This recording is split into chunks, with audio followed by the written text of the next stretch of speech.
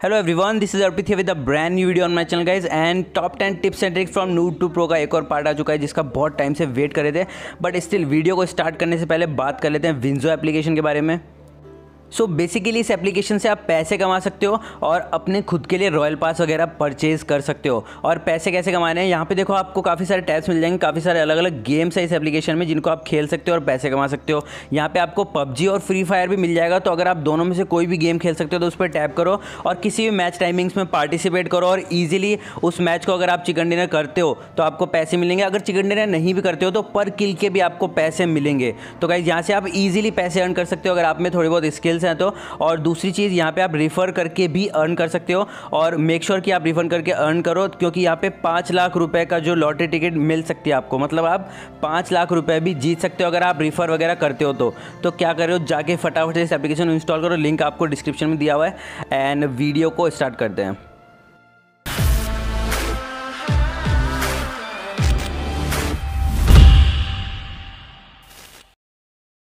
सो या guys step number one जब भी आप कहीं ऊपर से नीचे की साइड जंप कर रहे हो किसी बंदे को मारने के लिए तो मेक श्योर गाइज़ कि आप एफ़ टर्न कर लो बिकॉज़ जब आप नीचे की साइड जंप करते हो तो आपका बॉडी पार्ट आपके क्रॉस को छुपा लेता है। तो नीचे जो बंदा होता है, वो दिख नहीं पाता आपको डायरेक्टली आपको यहाँ पे एक एग्ज़ाम्पल दिखाता हूँ मैं, कि किस तरह से आपको बंदा दिख नहीं पाता है। देखो, मैंने यहाँ पे एक बंदे को नॉक किया पिक करके, और दूसरा बंदा नीचे था तो वो मेरे घर के अंदर घुसने की कोशिश कर रहा था, और मैं डायरेक्ट उस पर जंप करता हूँ बट मेरे बॉडी पार्ट की वजह से मेरा क्रॉसर दिखता नहीं है, और मैं उस पर एक भी गोली नहीं मार पाता। सो मेक श्योर जब भी आप ऊपर से नीचे जंप करो एफपीपी वाला बटन दबा दो और जंप करते ही आपको बंदा पूरा का पूरा दिखेगा और आपको ईजिली क्रॉस दिखेगा तो आप बंदे को नॉकआउट कर सकते हो।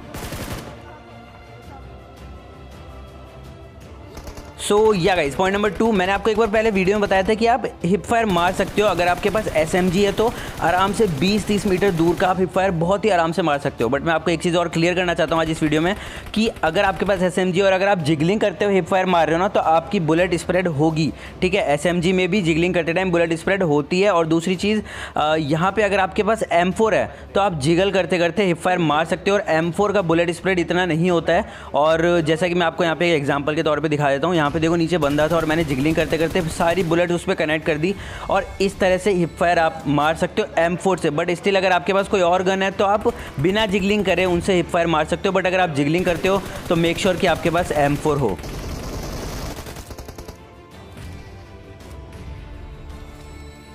पॉइंट नंबर थ्री कई बार सिचुएशन ऐसी आ जाती है कि आपके सामने एक साथ दो बंदे आ जाते हैं और आप स्टिल कंफ्यूज हो जाते हो कि यार पहले किसको मारूं? और उस चक्कर में दोनों ही आपको मार देते हैं। बट आपको क्या करना है मैं आपको बताता हूँ। अब देखो यहाँ पे क्या हुआ, मुझे राइट और लेफ़्ट दोनों बंदे एक साथ दिखे तो मैंने लेफ़्ट वाले को मारना ज़रूरी समझा बिकॉज़ जब मैं लेफ़्ट वाले के सामने जाता तो ऑब्वियसली राइट वाले को एंगल नहीं मिलता। देखो यहाँ पे ये वॉल ब्लॉक हो जाती, और राइट वाला मुझ पर चढ़ता, इससे पहले मैंने उसे कूद के मार दिया। तो ये बहुत ही एक सिंपल सी मतलब एक गेम सेंस की चीज़ है कि अगर आप इस कंडीशन में फंसते हो तो आपको कैसे रिएक्ट करना और पहले क्या चीज़ आप करते हो।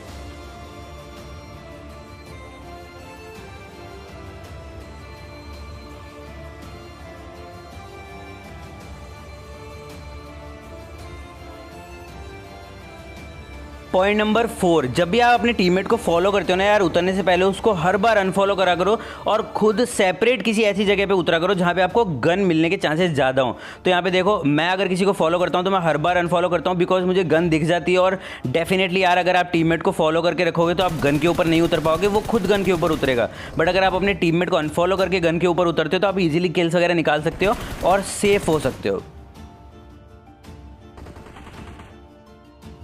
पॉइंट नंबर फाइव मे भी ये चीज़ काफ़ी सारे लोगों को पता होगी बट स्टिल मैं बता रहा हूँ बिकॉज़ यार काफ़ी सारे लोग ऐसे भी हैं जिनको नहीं पता ऑब्वियसली बात है।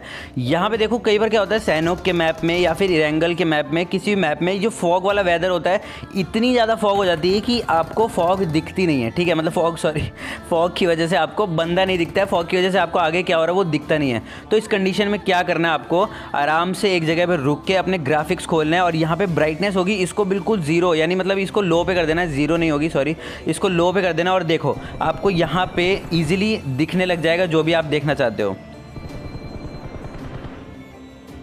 पॉइंट नंबर सिक्स बहुत सारे लोगों ने सुना है कि यार जब भी कहीं ओपन में भाग रहे हो ना जिगलिंग करते हुए मूवमेंट करते हुए भागा करो, इससे क्या होता है, सामने वाला बंदा आप पे एम नहीं लगा पाता है। तो इस कंडीशन में बहुत सारे लोग क्या गलती करते हैं कि वो जब जिगलिंग कर रहे होते हैं तो अपने एम को भी बहुत ज़्यादा लेफ़्ट राइट करते हैं। तो गाइज़ देखो, इस तरह से आप एक जगह एम करके मूवमेंट करते हुए भागो, ताकि अगर कहीं से बंदा पॉपअप होता है तो आप उसे मार सको। बट अगर आप एम भी कॉन्स्टेंटली लेफ़्ट राइट हिला रहे हो तो बंदा पॉपअप होते ही आपको एम सेट करने में टाइम लग जाएगा और आप उसे नहीं मार पाओगे। सो मेक श्योर कि आपका जो क्रॉस है वो सेम डायरेक्शन में रहे और आपका सिर्फ़ जॉयस्टिक मूव करे, समझ रहे हो? सिर्फ़ जॉयस्टिक हिले इससे क्या होगा? मूवमेंट करते करते भी आप एक जगह पे एम करके भाग सकते हो। Okay guys point number seven is कि आप जाके ट्रेनिंग रूम में टैप टैप की प्रैक्टिस करो बिकॉज़ कई बार क्या होता है कि आप स्प्रे करने लग जाते हो 100-200 मीटर, ठीक है? तो आपको क्या करना है स्प्रे नहीं करना है, आपको सिक्स एक्स को कर लेना है फुल पे मेक श्योर कि सिक्स एक्स मिल जाए आपको, और फुल पे करने के बाद आपको ईजिली टैप टैप करना है। टैप टैप करना मतलब बहुत ही फ़ायदेमंद होता है, और टैप टैप में है ना, आपकी एक भी बुलेट मिस भी नहीं होती है। तो टैप टैप करो अगर एनिमी ज़्यादा दूर होता है तो। Point number eight is very simple बहुत सारे लोग कंफ्यूज रहते हैं कि वाइट जिगल कब करनी है शॉर्ट जिगल कब करनी है। मैं आपको सिंपल सी चीज़ बता देता हूँ। वन ई वन हो ना तो आप कैसी भी जिगल करो, कोई फ़र्क नहीं पड़ता। बट टू वी वन हो जाए ना तो वाइट जिगल करना है। मैं आपको एक एग्ज़ाम्पल दिखाता हूँ यहाँ पे। मैंने एक बंदे को नॉक किया शॉर्ट जिगल एंड दूसरा भी आ गया। देन मैंने थोड़ा सा वाइट जिगल किया बिकॉज़ ताकि मैं दोनों की ब्लड से बच सकूँ। अब देखो मेरी हेल्थ यहाँ पे कितनी सी और मैंने दोनों बंदों को ईजिली यहाँ पे नॉक कन्फर्म कर दिया। तो ये होती है शॉर्ट जिगल और वाइट जिगल की मतलब टेक्निक कहाँ पे कब यूज़ करना है आपको खुद के गेम प्ले के अकॉर्डिंग आनी चाहिए। अगर आप पे टू वी वन मतलब रश हो रहा है, आप पे दो लोग एक साथ पुश कर रहे हैं तो आपको थोड़ा वाइट जिगल करना पड़ेगा ताकि आप ज़्यादा से ज़्यादा बुलेट्स को डॉज कर पाओ। बट स्टिल आपके सामने एक ही बंदा और वो वाइट जिगलिंग कर रहा है, ठीक है? तो आपको शॉर्ट जिगलिंग करनी है ताकि आप उसके वाइट जिगल को ब्रेक कर पाओ। मतलब ये सारी चीज़ें मैंने अपनी वीडियोज़ में शेयर की हुई हैं। आप जाके मेरी बाकी की वीडियोज़ भी देख सकते हो।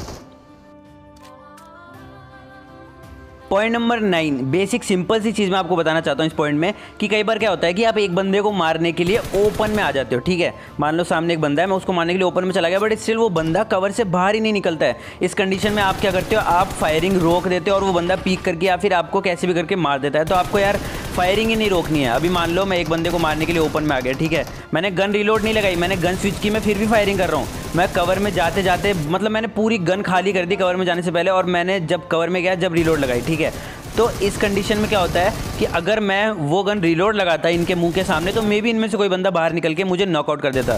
तो इसलिए मैंने यहाँ पे कोई भी गन रिलोड नहीं लगाई। मैंने गन स्विच की उससे भी फायर करता रहा। और जब मैं कवर में आया तब मैंने वो गन रिलोड लगाई। तो ये चीज़ आप अपने गेम प्लेस में ज़रूर ट्राई करना। मतलब कई बार कई बार नहीं बहुत बार आपके साथ भी ऐसा हुआ होगा। क्या यार ये कैंपर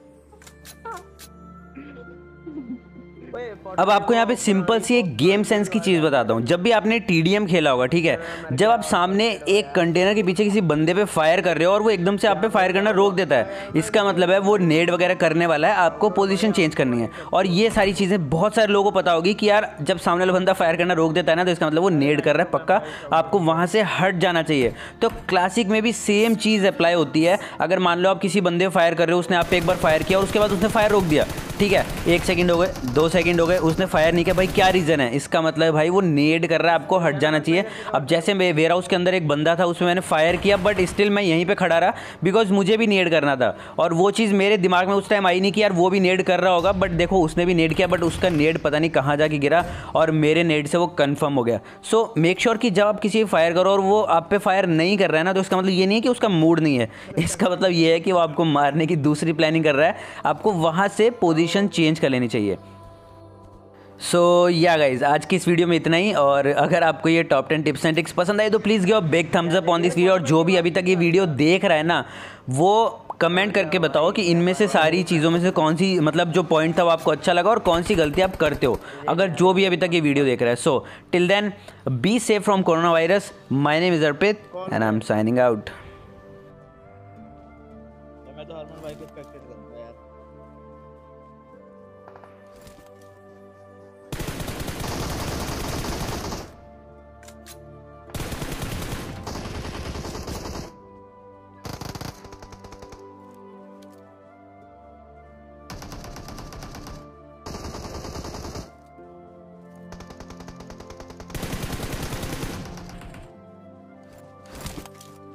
Not bad.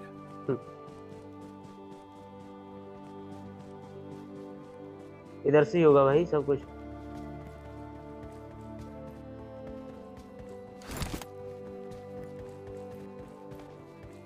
नहीं नहीं, है है है है।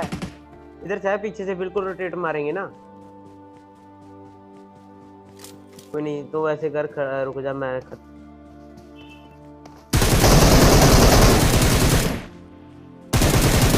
है भाई ऐसी पर